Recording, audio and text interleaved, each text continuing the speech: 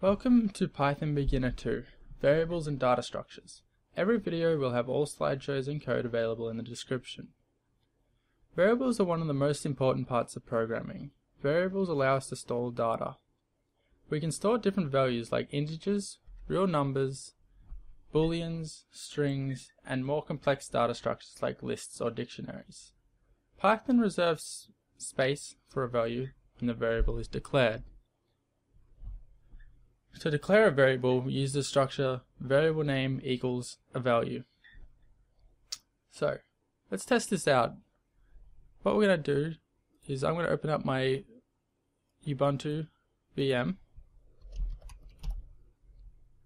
and we're going to do some Python. So let's open up our terminal and open up the interpreter by typing Python.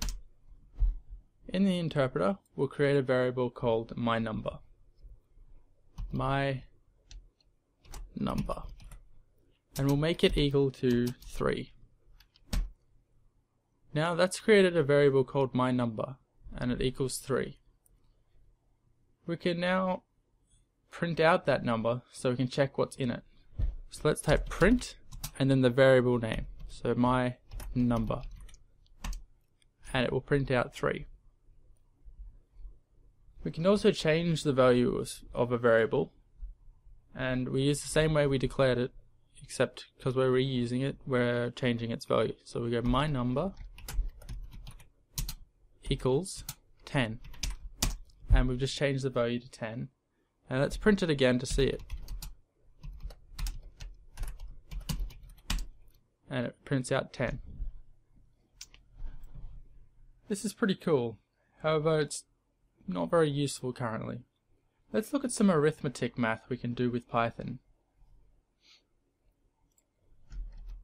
Python allows for seven basic arithmetic operators.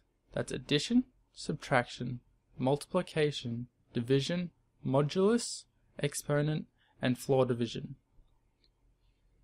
Now, most of these are pretty self-explanatory. Modulus is dividing a number by a number and getting the remainder. Exponent is to the power of. And floor division is dividing and then rounding down. Okay, so let's try out some of the, the some of the operators. We'll start with the plus. So what we can do is we can make our our number, so my number equals 10 plus 90. And what that'll do is it, it will add the two together and then save the answer into our variable. So now we can print out my number and we get 100. So this is very nice for doing math. Let's subtract 50 from my number. So what we can do is we can actually use my number on the right hand side as well. So if we make my number equals my number's current value minus 50. So what this will do is we'll get what my number's current value is minus 50 and then save it back into itself. So we set, pass that into the interpreter and then print it out. My number. We get 50.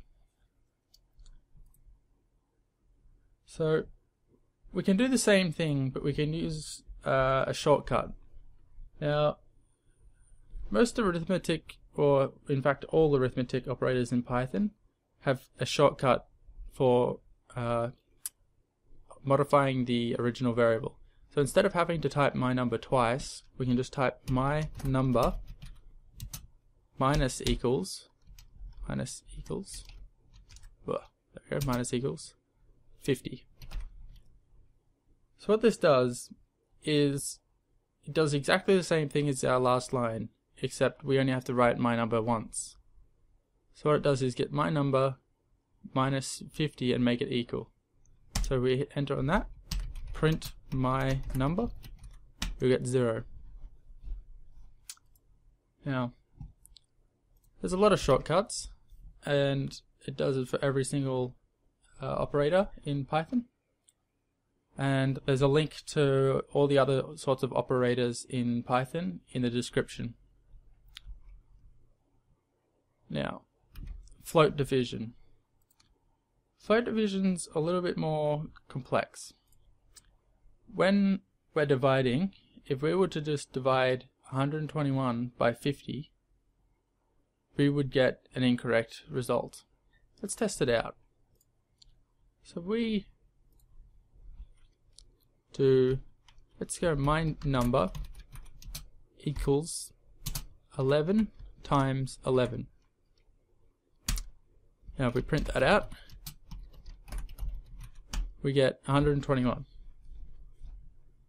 Now, let's try dividing 121 by 50. So we do my number divide equals 50. Now if we print out my number, we'll, we'll get oh, number, my number, we get 2, which isn't correct, because we should get 2.42. So let's let's talk about float division. So float division is dividing correctly uh, to decimal places. So if we do if we do my number equals 121.0 so this makes our our number a float rather than a whole number and we divide it by a float so 50.0 and then we print it out my number we get 2.42 and that's the correct division so remember that we need to specify that the number is a float if we want it to be divided as such. Otherwise it'll be divided as an integer and will be rounded down. If we want to do floor division, so that was the double slash, if you remember. Go back, double slash, float division, floor division. What we can do is we can also do that on floats. So we go back to our VM, my number equals we'll slash slash equals so floor division. Actually what we'll do is we'll just make it equal 121.0 floor division 50.0 so we do this and print it out. We should get 2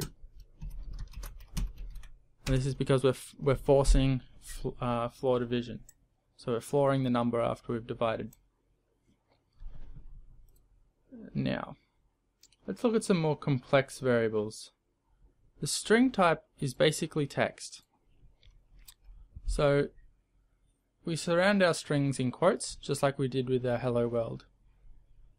So, a string is a bunch of letters that we want to remain as such, not turn into um, numbers. So, we can make a, our variable. So let's make our var a, a variable called text and we'll make it to hello world and close the quotes and then we can save that to the variable so now that text variable holds a string that contains the letters hello world now if we type print text we'll get hello world strings are that easy in Python of course there's more we can do with strings, however that will be covered another time. Now we come to more complex variables. Lists. For lists, lists hold an array of values. We declare a list with, a, with square brackets. So for example, nums equals square brackets. We can then add values to that list by using the dot append function. nums dot append 21 this will add the value 21 to our list, and then we can print out that list with the print function. Now, let's let's have a look at it. Come back to our Python interpreter, and let's create nums equals a list, and then nums dot append open brackets, and then the value what we want to put in there. So let's put 21 in there. And then let's add some more. So let's go nums dot append 40.5 nums dot append I'm not a number. So there we go, we've added three different types of variables into our variable of lists, or our list variable. We can now print out that list by typing print nums, and Python will handle everything and it will print out our list in square brackets. Lists are just that simple. It has many other functionalities, but for, but again, that'll be covered later. Lastly, we have dictionaries. Now, dictionaries are similar to lists, but use a hash map. If you don't know what a hash map is, pretty much it uses a string key and a value and like stores a value to that key. So we use a colon to separate the key from the value. So if we think of a dictionary called services, and we have we set the values FTP to 21 and the value SSH to 22. We can print the dictionary three ways. So let's let's qu quickly have a look at it. If we create a our dictionary, call it services, and make it equal to FTP colon 21 and then SSH colon 22 and we'll add SMTP and save that to 25 well make that equal 25 and then make HTTP and set that to 80 and then we close it off with this squiggly bracket. Now we enter. That'll save our dictionary to that variable name. And we can now look at the dictionary three different ways we can print the whole dictionary with our normal print function. Print services. And we'll get our list just how it looks when we entered it. Or we can print it to see the keys or just the values. So if we want to print it to see the keys we type services dot keys and we put brackets on there and it will print out just the keys so FTP, SMTP, SSH and HTTP or we can print out just the values. So if we do services dot values brackets, it will print out just the values in the list in order of how they're stored. So that gives us our list of values and this concludes our look at variables. Next we'll be looking at input and output. Don't fear if you don't remember all of this. You can easily come back and rewatch the video to consolidate all the information. And if you have any questions and can't find an answer after a quick Google search, feel free to leave it in the comments. Next we'll be covering input and output, and thanks for watching.